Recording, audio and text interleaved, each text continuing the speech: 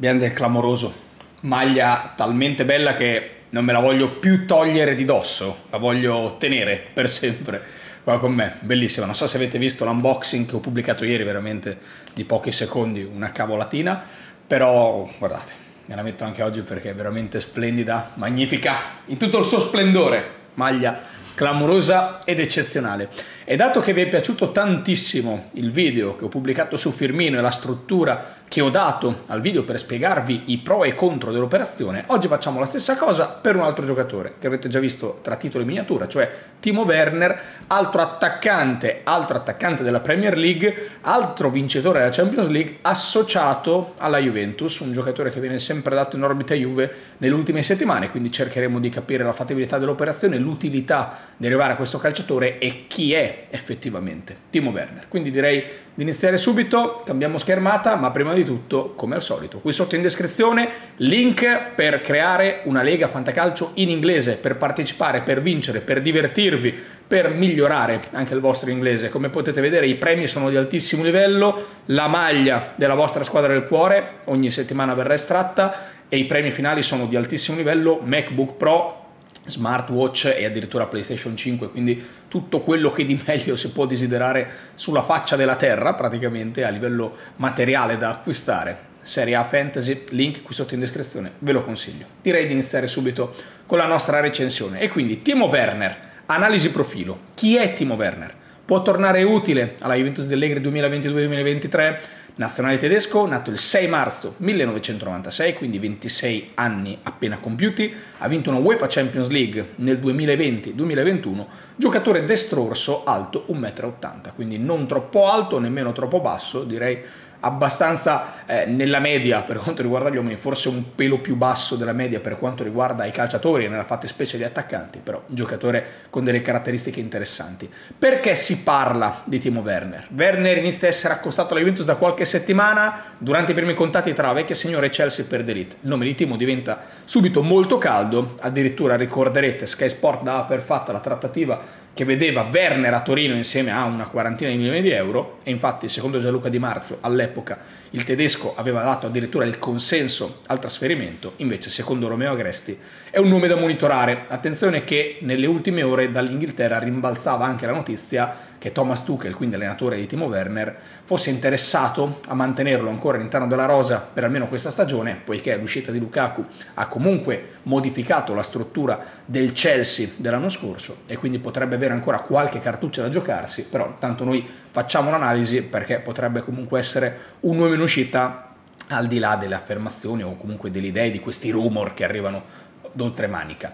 Timo Werner, ruolo dati, infortuni, costo, Juventus e fattibilità. Sempre i nostri sei punti che andiamo a prendere in esame per cercare di farci un'idea quanto più oggettiva e completa possibile dell'operazione legata al calciatore dei Blues. E quindi ruolo, Timo Werner, quale posizione occupa in campo?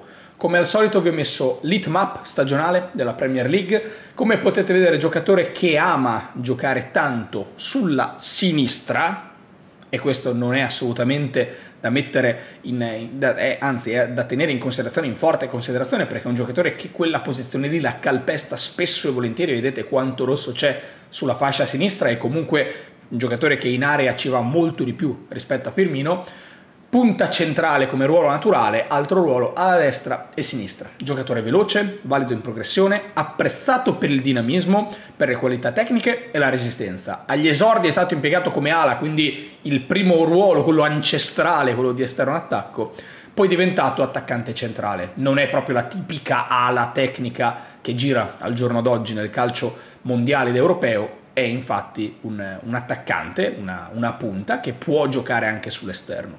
Elogiato per la capacità di ripiegamento e di dialogo con i centrocampisti, quindi qua la perfezione per la fase non possesso eventualmente, è abile nel gioco aereo nonostante i 180 cm, nei movimenti senza palla è in possesso di ottimo fiuto del gol, uno dei suoi punti di forza è il tiro dalla distanza, specialmente col piede destro, il suo piede naturale, quindi giocatore abbastanza interessante per quelle che sono le sue caratteristiche e anche la sua duttilità. Dati Timo Werner, presenza e rendimento per stagione con focus principale a quella appena conclusa. Werner nell'ultima annata ha giocato 2215 minuti, quindi qualcosina di più, circa 400 minuti in più rispetto a Firmino. Siamo lì sotto il profilo dei numeri, cioè sulle presenze, Werner penso che ne abbia fatte due in più, mi pare 35 Firmino, gol dovrebbero essere 11 per tutti e due, gli assist sinceramente non mi ricordo, Werner ne ha serviti 6, di cui 3 in FA Cup, 1 in Premier League e 2 in Champions League. Anche qua notiamo che in Champions, esattamente come Firmino, c'è stato l'exploit maggiore stagionale per quanto riguarda i gol segnati, quindi 5 partite, 4 gol, 2 assist, sono ottimi numeri per la Champions League.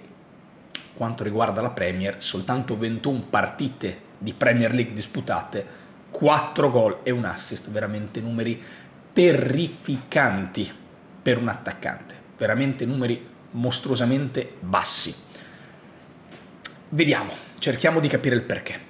Guardiamo i dati del Chelsea L'anno scorso aveva giocato 35 partite da titolare e aveva segnato, da titolare, in totale in stagione in Premier League aveva segnato 6 gol e aveva fatto 4 gol in Champions esattamente come in questa stagione, ma in 12 partite, portandosi però a casa la Coppa giocando da titolare, eh, l'attaccante titolare del Chelsea, e aveva concluso la stagione con 52 partite e 12 gol segnati. Quest'anno, complice l'arrivo di Romelu Lukaku, che comunque non ha fatto una grande stagione, infatti è tornato all'Inter, ma soprattutto all'esplosione di Kai Havertz, che è stato selezionato come vero e proprio attaccante titolare da Thomas Tuchel, concluderanno con 37 partite e 11 gol. Quindi siamo sulla stessa falsariga di gol segnati, partite giocate nettamente meno in questa stagione, complessivo 89 partite col Chelsea, 23 gol messi a segno per un attaccante sono numeri veramente molto bassi in due stagioni. Solitamente una ventina di gol un attaccante li fa in una stagione, figuriamoci in due, giocando in Premier League, giocando tante competizioni come l'FA Cup, l'FLL e ovviamente la Champions, il Mondiale per Club, la Supercoppa, UEFA come in questa stagione ed avendo vinto pure la Champions nella passata stagione, insomma, sono numeri molto bassi, molto bassi. Però se ci fermiamo a ragionare sull'Ipsia, quindi sulle ultime quattro stagioni che ha giocato in Bundesliga, iniziamo ad avere un'altra idea di Timo Werner. 159 partite con l'Ipsia, 95 reti. Veramente l'opposto rispetto alla sua avventura al Chelsea, che all'interno del gioco del Chelsea, tra l'altro, è un giocatore importante perché libera tanti spazi per i compagni, però gli vengono meno i suoi gol. E quindi un giocatore che può fare tutti e due i giochi, nel senso, se viene messo nel contesto di essere il punto di riferimento offensivo di una squadra e quindi giocatore che deve catalizzare le azioni dei compagni, come magari avveniva nell'Ipsia, giocatore che fa gol. Se invece deve essere messo a servizio a disposizione della squadra, come nel Chelsea, e quindi magari giocare di sponda o giocare per liberare la possibilità ai compagni di inserirsi, fa meno gol, però comunque il suo lo fa e l'anno scorso è stato l'attaccante titolare della squadra che ha vinto la Champions League, qualcosa vorrà pur dire. Io non sono particolarmente innamorato del calciatore, però sono anche dell'idea che 95 gol in 159 partite in Bundesliga ed essere un giocatore della nazionale tedesca di calcio non sia da tutti e che quindi Timo Werner delle qualità ce le abbia. Ribadisco, non sono innamoratissimo del calciatore, forse anche perché al Chelsea comunque si è portato dietro questa nomea di calciatore molto sprecone, di non attaccante vero e proprio e quindi nelle ultime due stagioni, nel momento in cui ha dovuto fare il salto decisivo intorno ai suoi 24 anni d'età, nel momento più importante della carriera, non ha risposto alle aspettative che erano molto alte all'Ipsia. Infatti ricordo quando si parlava di Werner che lasciava l'Ipsia, si parlava principalmente di Liverpool, la Juventus era interessata e tutti noi speravamo di poter acquistare Werner come erede di Wayne, era praticamente l'annata di Sari, eravamo in piena pandemia, quindi avevamo una gran voglia di vedere Timo Werner alla Juventus come titolare, in questo momento non stiamo parlando dell'attaccante titolare, bensì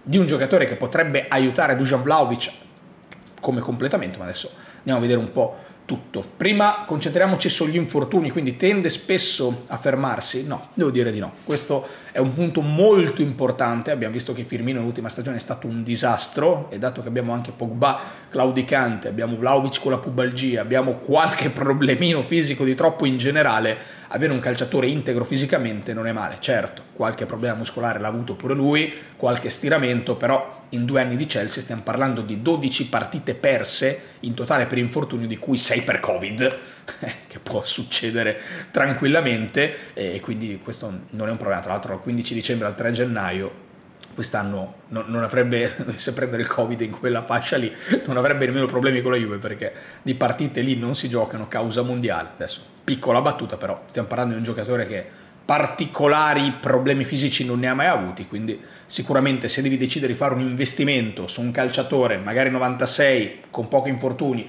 o 91 con tanti infortuni, una società che deve ragionare come un'azienda perché sta facendo un vero e proprio investimento, probabilmente va sul giocatore più integro fisicamente e con degli anni in meno. Costo Timo Werner, perché se di investimento si parla dobbiamo ragionare sui costi, cartellino e stipendio. Contratto in scadenza 30 giugno 2025, quindi situazione completamente diversa rispetto a quella di Firmino. Il Chelsea lo acquista a giugno 2020 per 60 milioni di euro e gli offre un contratto di 5 anni, quindi 60 diviso 5 fa 12, quindi ogni anno ha un ammortamento di 12 milioni come vedremo dopo. Valore attuale del cartellino non troppo elevato, Transfer Market lo mette a 35 milioni per un motivo, appunto considerando l'ammortamento annuo di 12 milioni, il Chelsea potrebbe liberarlo a 36 per non far minusvalenza, quindi 60 diviso 5 12, ogni annata vale 12 milioni, ne ha giocate due, hanno fatto l'ammortamento di 24, rimangono 36 per arrivare a quei famosi 60 e quindi il Chelsea per non far minusvalenza dovrebbe liberarlo almeno a 36, poi ogni milione dopo il 36 è plusvalenza per il Chelsea. A novembre 2021 però attenzione, secondo Calcio Finanza lo stipendio di Werner risulta essere pari a 14,14 14 milioni di sterline a stagione, uno dei calciatori più pagati del Chelsea insieme a Lukaku, a Kanté, a Saul, insomma un giocatore con stipendio molto alto, decisamente alto, perché in euro parliamo circa di 17 milioni a stagione netti. Molto, molto alto. La Juve può sperare, grazie al decreto crescita, certo, ma servirebbe anche una netta riduzione dell'ingaggio. Quindi se fino adesso abbiamo visto delle caratteristiche positive per la posizione in campo, per il costo del cartellino non troppo elevato, per l'età, per gli infortuni, i contro in questo momento sono un giocatore che nelle ultime due stagioni non ha fatto vedere chissà che cosa a livello realizzativo, ma soprattutto con un ingaggio fuori portata per quello che è l'idea bianconera. E quindi Juventus e Bremer, dove giocherebbe? Sì, Bremer, Werner, dove giocherebbe? Alla Juve, ce l'ho qua, eh? Ce l'ho qua, Gleison. Allora, la Juventus è alla ricerca di un vice Vlaovic o di un esterno che possa giocare a destra, a sinistra, un 4-3-3. Werner è esattamente la tipologia di calciatore ricercata. Le alternative a Timo sembrano essere il solito Morata e Martial del Manchester United. Il tedesco è 4 anni più giovane del nostro ex Alvaro e un anno più giovane del stato francese che è un 95. Alla Juventus Werner potrebbe giocare come esterno sinistro nel tridente oppure anche a destra, però c'è abbondanza di Maria, Quadrado, Sule, insomma, ne abbiamo tantissimi altri che probabilmente mi dimentico come Chiesa quando rientrerà, che può giocare comunque anche a sinistra. Infatti tanti mi continuate a dire, ma perché non metti Chiesa nelle grafiche? Beh ragazzi, Chiesa ufficialmente tornerà praticamente a gennaio alla Juventus Pogba, continuo a metterlo perché ancora non abbiamo una diagnosi, però è ovvio che Chiesa giocherebbe probabilmente a sinistra nel tridente, però fino a gennaio che cosa facciamo? Non ce l'abbiamo dei calciatori, in questo momento c'è Ken che, riopre, che ricopre quella posizione, un po' come sta facendo Werner in questa grafica. Quindi alla Juventus potrebbe giocare appunto come esterno sinistro nel tridente o a destra dove c'è abbondanza, come punta centrale al posto di Vlaovic o in un attacco a due a fianco del 9 serbo, un po' come va ipotizzato per Firmino in un 4-3-1-2 con Di Maria trequartista. Stessa formazione, facciamo un attimo una, una giravolta, quindi Di Maria sulla tre quarti, Vlaovic e Werner davanti, va benissimo. A livello tattico pare un innesto decisamente sensato anche per quella che è la modalità di difendere di Allegri, quindi Pogba che si sposta sul centro-sinistra, Locatelli e Zaccaria che vengono in mezzo, Di Maria che scende e va a formare il 4-4-2, anche se l'altro giorno col Barcellona abbiamo visto una Juventus che difendeva con un 4-5-1 abbassando entrambi gli esterni, che secondo me è il modo migliore di difendere se giochi con un 4-3-3, ma di questo poi parleremo più avanti quando avremo qualche informazione in più perché ovviamente abbiamo visto due amichevoli in questo momento di luglio, in una abbiamo difeso in un modo, in una abbiamo difeso in un altro, quindi troppo poco per iniziare a mettersi particolari idee in testa. Fattibilità di Timo Werner. Arriva davvero? Tiriamo qualche conclusione. Non sembra esserci stata una vera e propria proposta ufficiale bianconera per Werner, nonostante i vecchi dialoghi relativi alla trattativa d'elite. Sappiamo però che il Chelsea appunto potrebbe cedere il giocatore a partire da 36 milioni. Considerando un quinquennale e non un quadriennale come per Firmino, dato che comunque ci sono degli anni di differenza, da 8 milioni netti che è il tetto massimo della Juventus abbiamo visto non ufficiale ma ufficioso, e con l'utilizzo del decreto crescita, quali cifre otteniamo? 36 milioni in 5 anni genera un ammortamento del cartellino di 7.2 a stagione. 8 milioni di euro netti con decreto crescita sono circa 10.4 lordi a stagione. Werner quindi costerebbe alla Juve circa 17.6 milioni a stagione dai 27 ai 31 anni. E quindi, impressione, numeri comunque troppo alti per la Juventus, cartellino accettabile sì, ma l'ingaggio rimane elevato per colpa di quanto guadagna al Chelsea. A livello tattico garantirebbe diverse opzioni. Complessivamente direi di sì, anche se forse serve qualche altra riduzione relativa all'ingaggio perché continua a essere troppo elevato.